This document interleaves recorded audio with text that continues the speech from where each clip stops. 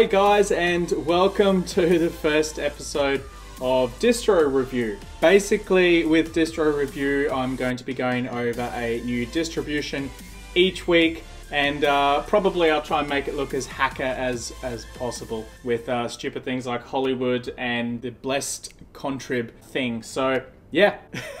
so, on this episode, we're going through Kali Linux 2020.1b which is uh, currently, at the time of recording this, the latest version of Kali Linux. So yeah, let's get started. Now first things first, I'm installing all of these Linux distributions that I go through on this list uh, on my trusty 2012 MacBook Pro. Uh, it's an i5, I have no idea what graphics it's got, but um, it's pretty basic.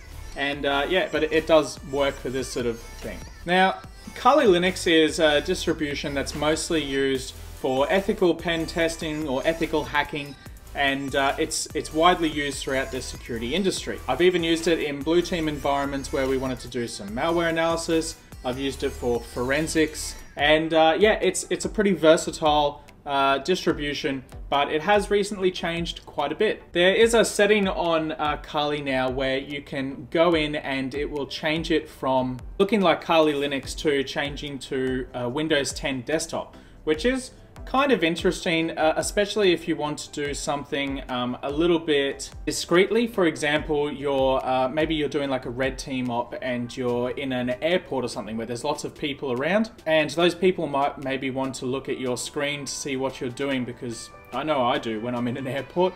So uh, yeah, if you want it to look a little bit less uh, hacker spec, maybe you know not so uh, Hollywood or blessed uh, background, um, yeah, maybe you want to go for something that looks a little bit less crazy. So you can change it over with a quick command to Windows 10, which um, it just looks like Windows 10. It's still a Linux operating system. Obviously, it's still using the Linux terminal. And um, yeah, I guess the main thing here, because I want to go at a sort of basic level, is that uh, the installation for Kali Linux does sometimes bug out. And uh, it did actually on this one where it lost uh, all of the entries for sources.list, which is basically where it goes to find any uh, packages to download. So if, even for example, if I wanted to do like sudo apt-get uh, update, it would have said uh, unable to find sources or something like that. I can't remember exactly. So I did have to uh, put in the sources manually again into that sources.list file. But apart from that, there was only one other issue, which was that I had to install the uh, Wi-Fi drivers separately for this computer because um, MacBooks are a bit of a pain in the ass basically and uh, it, I had to get a thing called a B43 driver, which is just the name of the driver for this particular model, to be able to install Kali Linux. So I did do a live stream video of installing Kali Linux on this machine, uh, so if you want to go and check that out, I'll leave a, a, link to it in the description. But yeah, I guess um, for everyday use, is Kali Linux an operating system that I would use? Probably not. I'd probably go with one of the other more popular ones uh, that aren't so security focused. Saying that, you can sort of cut and choose with Linux on what you want and what you don't want.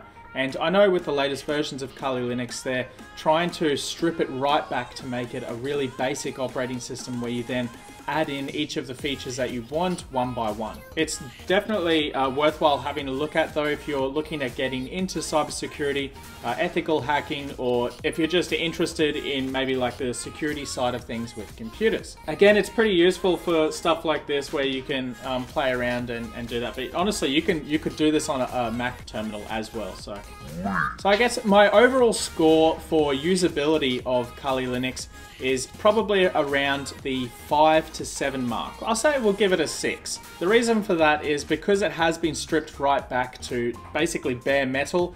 It is a, a bit of an interesting operating system to deal with if you're new to Linux. Um, but at the same time, it's pretty easy to get a handle of. There's a lot of documentation out there. So yeah, I mean, once you learn the basics of using Linux, which I've, I've done a few videos on, you can just sort of dive straight in and start uh, getting into the more difficult things on a Kali machine. For actually using it for security purposes, I'd say this is probably my favorite operating system. And I will do a review on Parrot as well another day.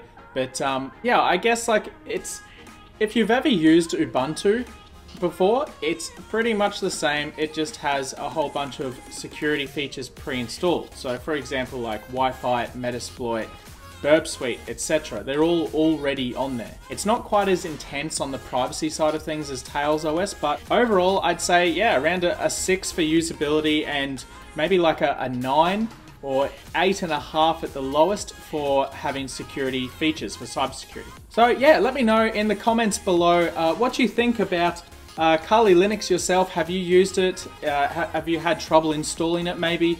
Uh, let me know. I'd love to hear about uh, the issues or the advantages of uh, Kali Linux from your own point of view. Also, let me know in the comments if you enjoyed that little intro uh, B-roll sequence that I put on uh, this video. I thought I'd, I'd, have a little bit of fun with it and try something a, a bit different for once. But uh, yeah, let me know what you think. For anyone who's new here, don't forget to like and uh, subscribe for more videos just like this. And uh, I'll see you all on the next video. Catch you later.